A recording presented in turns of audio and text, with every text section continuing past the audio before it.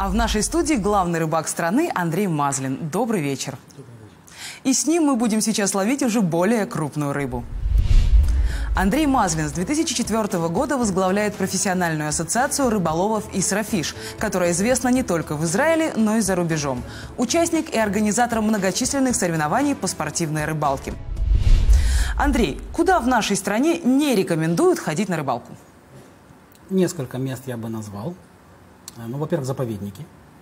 Это такие заповедники, э, как, Дания, э, как Дан или Баниас, или район э, Роша-Никра, например. Туда просто нельзя или запрещено там ловить Там рыбу? запрещено ловить рыбу, и могут быть крупные штрафы и неприятности. Также я бы не рекомендовал ехать в такие места, как Кишон или Яркон, которые просто загрязнены очень сильно, и рыба там, ну, как у нас говорят, для тещи ловить можно, но Но это известный случай, когда рыба, выловленная в Кишоне и поданная в одном из ресторанов, была отравлена, и было всем нехорошо после этого. ну, это совершенно нормальное явление, я бы сказал, для той рыбы, которую там ловят. Потому что вода очень сильно загрязнена, и рыба, естественно, все это кушает. Если мы ее кушаем, то мы получаем все те же самые тяжелые металлы, что есть в этой воде. О том, как избежать подобных ситуаций, сразу после рекламы.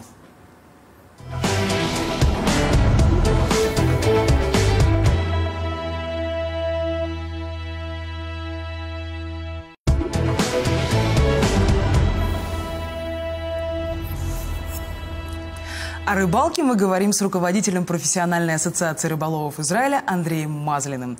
Скажите, пожалуйста, у нас жара, июнь, вообще лето – это, наверное, не самое лучшее время для рыбалки. Рыба ищет где поглубже. Не совсем так. А как? Э, Рыбе, в общем-то, все равно, по большому счету. Просто что человеку очень некомфортно ловить рыбу летом. Поэтому летом ловят рыбу, скажем так, экстремалы, которые могут высидеть э, в 40-градусную жару несколько суток. Это фанатом надо быть. Да, это надо быть реально фанатом, тем более в такую жару и пить не очень легко.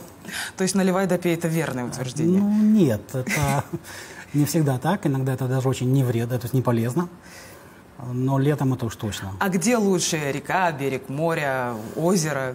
Это И всё кого, собственно, ловят? Зависит, наверное, от того, что вы любите ловить. Если вы любите ловить морскую рыбу, то берег моря. Если э, пресноводную, то, скорее всего, это кинерет. Все-таки он большой, хватает его на всех. И место найти достаточно легко, на любой вкус. И с душем, и с туалетом, или просто дикие в кустах. Как кому нравится.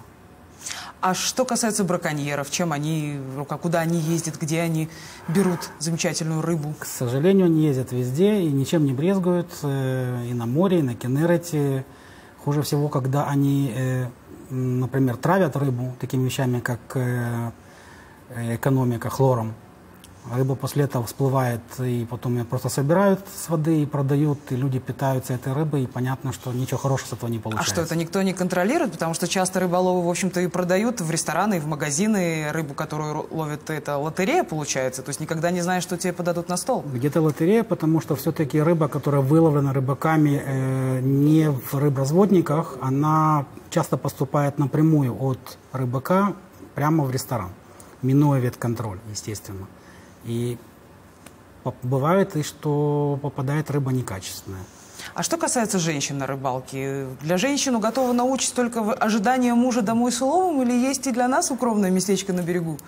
Это неправильно, потому что очень много женщин увлекается рыбалкой. И у нас тоже на нашем форуме много зарегистрировано женщин, которые ловят рыбу. И, например, э, Международная ассоциация спортивной рыбалки, у нее есть даже такая дисциплина, как э, чемпионат рыбалки женщины. Категория женщины, да. У То есть есть отдельная номинация отдельная для женщин? номинация, есть номинация подростки, инвалиды, но также вот отдельно выделена женщины, ladies. Так что там тоже есть свои чемпионки. И очень много смешанных пар, когда муж с женой увлекаются рыбалкой вместе. То есть все в дом, все в одну корзину, Нет, все ну, в у дом. нас спортивная рыбалка, рыбу мы отпускаем. Ага.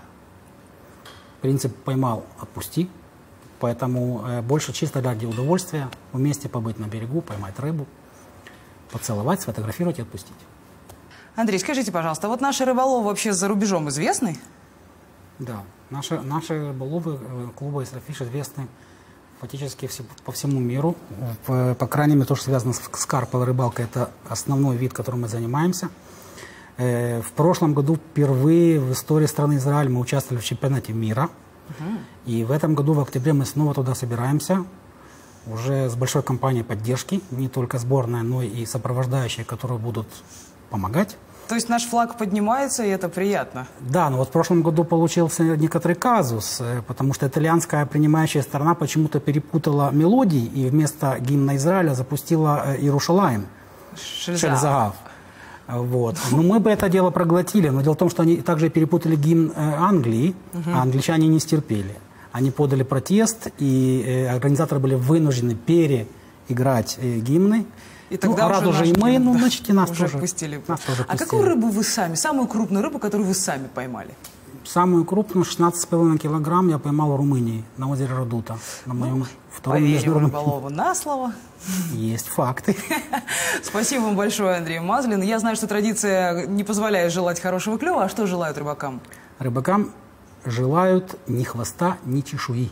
Ну тогда ни хвоста, ни чешуи вам. Спасибо Черту. еще раз. А вас, дорогие зрители, мы приглашаем стать участниками программы «Советник». На ваших экранах сейчас адрес нашей электронной почты. Присылайте нам рассказы о своих проблемах, успехах и радостях. Наша программа в эфире ежедневно. И вот о чем поговорим завтра.